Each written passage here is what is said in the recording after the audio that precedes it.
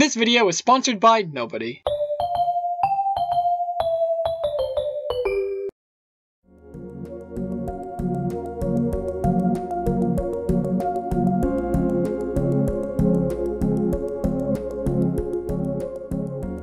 I love Oni games. I love Oni games more than any sane human should love Oni games. Honestly, it's stupid how much I love these games. I mean, just look at this. This is Ao Oni. It was made with default assets, has stupidly hard puzzles, a bland ass story, and is one of the slowest games I've ever played.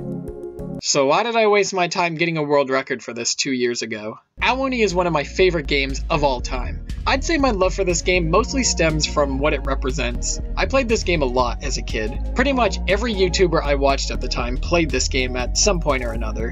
PewDiePie, Markiplier, Strike If so many people played it, well, of course I had to play it as well. I don't remember much from when I was younger, but I definitely remember all the hours I sunk into this game, as well as Ib and all the other Oni games I found on the internet, which were most likely viruses. These were practically my only friends in middle school. Yeah, I could have been doing something productive with my time, or socializing to conquer my crippling social anxiety, but nah, Ao Oni was more important. Ao Oni represents a simpler time in my life, a time where the only thing I had to worry about was figuring out how to install the correct RTP version to play whatever RPG Maker game interested me that week. Even back then, I knew the game wasn't a masterpiece. With Ao Oni being translated from Japanese, a lot of the dialogue, especially in older versions, is quite janky. The puzzles are pretty difficult to figure out on your own. Most of the time I'd have to look up on the wiki how to solve them.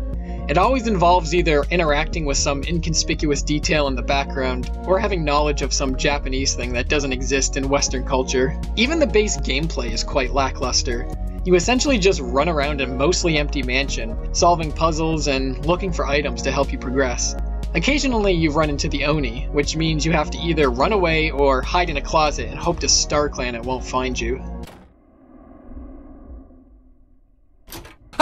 Regardless of all that, however, I still love this game.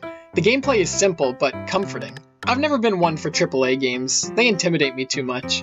Kind of like Terraria, to be honest. Ao Oni is much more welcoming in my eyes. If you've ever played any other RPG Maker game, you can pretty much pick this up and play. The puzzles are difficult, but that only makes it all the more satisfying when you finally solve them. And I still believe that the Oni chases are one of the most fun concepts ever put into an RPG Maker game. They keep you on your toes, and they give you a chance to schmoove on the Oni before it inevitably schmooves on you. Anyways, this isn't a video about Ao Oni. Maybe I'll make a proper review of this game in the future, but I just wanted to give some background. This game means a lot to me, even if it is just a silly RPG Maker horror game. The game I do want to talk about today is Scary Oni.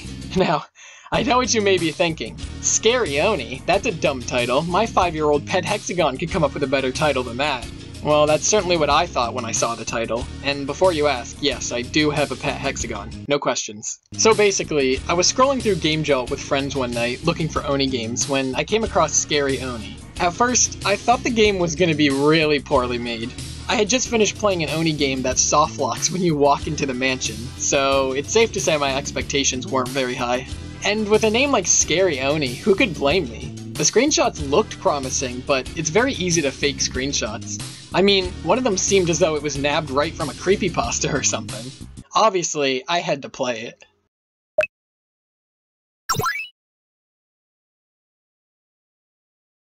When a game opens with a screen like this, you know it's gonna be good. Scary Oni starts like no other Oni game I've seen.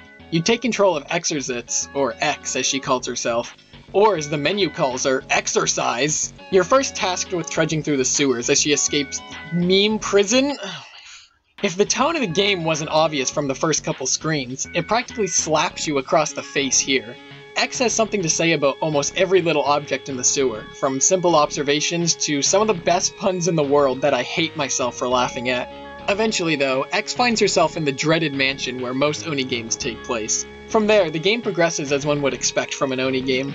Run around the mansion, find items, run away from the Oni. One really nice feature in this game is having a second menu for using items on the environment.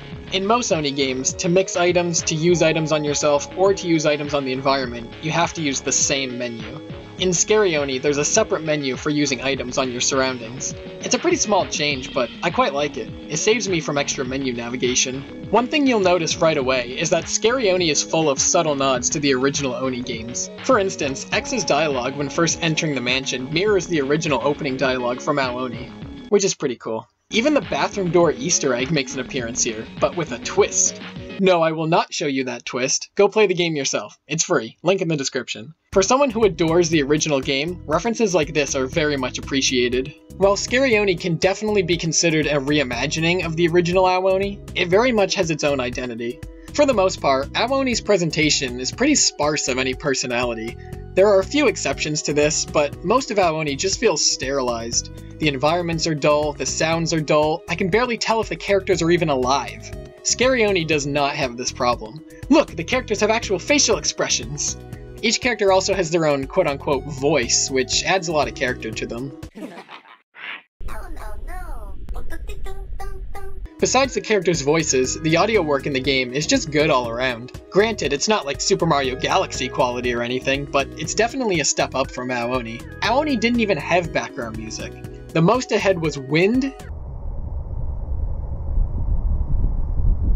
and breathing.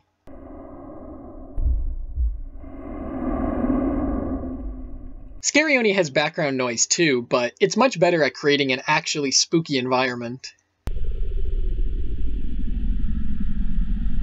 There's also a few actual songs that play at various times in the game. They're, they're all basic, but they're a nice addition nonetheless.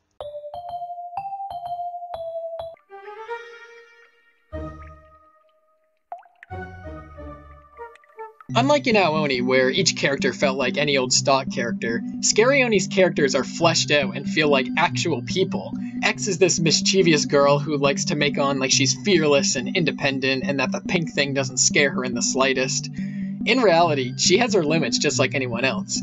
Even little things like her sprite animations convey more emotion than the entirety of Ao Oni.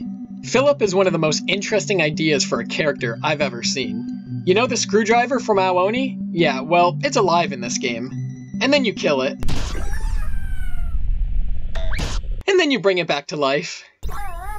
And after that extremely normal sequence of events, Philip gives you info about the mansion as you progress through the game. I would compare Philip to Starlow from the Mario and Luigi RPG series, but without the anger issues. Unlike X, Philip is very much affected by the spooky happenings of the mansion, which creates a pretty fun dichotomy between the two characters. There's another quote unquote major character, Rang, but she has like two seconds of screen time, so I won't go into detail about her. Despite the game only having a handful of characters, each one is just dripping with personality. Hopefully not literally though, because that would be kinda gross. X probably hasn't showered in a while. In general, the sprite work and character profiles are very nicely done. The developer didn't have to give characters multiple facial expressions. They didn't have to give them such developed characters. They didn't have to make the Oni look so damn sexy. But they did. It's little details like that which really make this game stand out. Okay, you may be saying, but is the game actually scary? Well, yes and no. Scary Oni has elements of both horror and comedy, and it balances both pretty well. I talked about a bit of the humor back in the sewers, but it would be stupid to go through each joke in the game's dialogue. Just know that the game retains its humor far longer than just the opening. The game does not take itself seriously enough to lose its humor. In terms of spooks, most Oni games I've seen spare no time in showing the Oni. In my former world record run for Ao Oni, it takes only 40 seconds before the Oni shows its face. Scary Oni does a much better job establishing the game's ambiance and building tension. There's lots of small details that are unnerving enough on their own, but when combined together create a surprisingly unsettling environment. All the scares leading up to the Oni's reveal feel natural. There's no cheap jump scares or anything of the sort. No, I will not show you these scares. Play the game yourself. The Oni's first appearance was genuinely shocking to me. The best way to describe the Oni in this game, known as the is demonically playful. Obviously, the Oni is pretty evil. Not many non-evil people attempt murder, but they seem to enjoy tormenting X. They relish the fact that they have power over X, and they use that power to mess with them, sort of like a cat and mouse complex. The Oni is given much more power in this game than I've seen from other Oni games. They're able to spontaneously materialize out of nowhere, for one, they can give you pink eye, and they even taunt you at certain points. The Oni is very much their own character in this game. The fact that they actually talk to X makes the Oni feel so much more real, so much more like an actual threat to the player. It's clear that there's a lot more about that we don't know about as a player. There's this comically large telephone that X finds later in the game. Before leaving this specific room, the phone rings. I've played through this game three times, and each time I answer the phone, it said something different. Each message is cryptic in its own way, but I'm like 97% sure that they all have to do with this guy. There's also a few unused audio bits in the game's folder, one of which is this.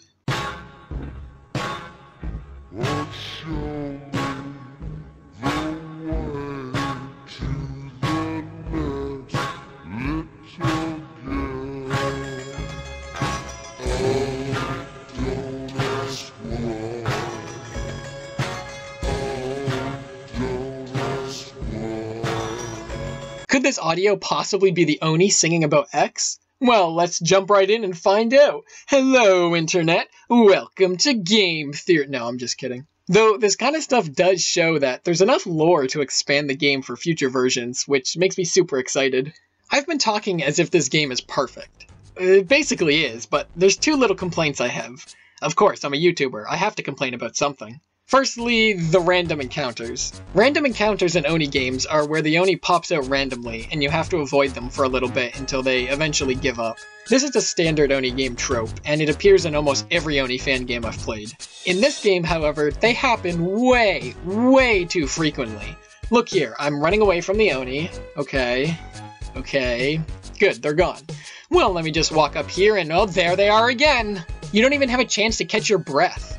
These kind of rapid fire encounters happened repeatedly as I played through the game. Random encounters are fine, but in this game they actively prohibit your progress due to how frequent they are.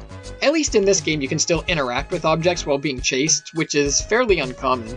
There's actually some pretty funny text that arises during these chases. The frequency of these random encounters certainly doesn't ruin the game or anything, but it does slow it down a fair bit. Secondly, and this is definitely my biggest complaint, the game is too short.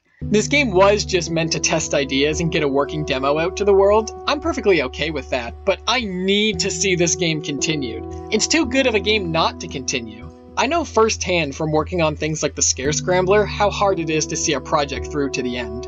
You need the right combination of motivation and discipline, you know? It's tricky stuff. So, to everyone watching this video who's at all interested in this game, I have a task for you. Go to this game's Game Jolt page, link in the description, and try it out. Leave some nice comments on the page. Go to their YouTube channel and send some encouraging words. The world needs more Scary Oni, and that will only happen if we let Jenna know how much the world needs Scary Oni. For the longest time, I thought that Oni games were dead. I thought that everything that could be done with them had already been done.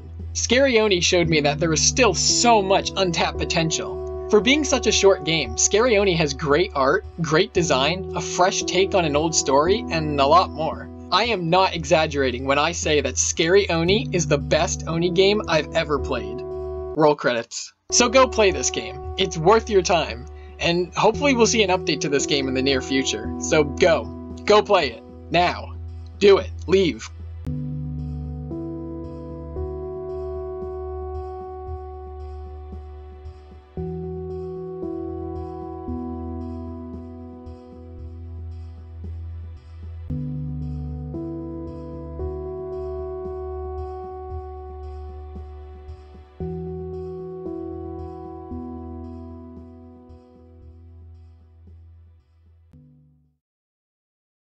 Okay, you're still here.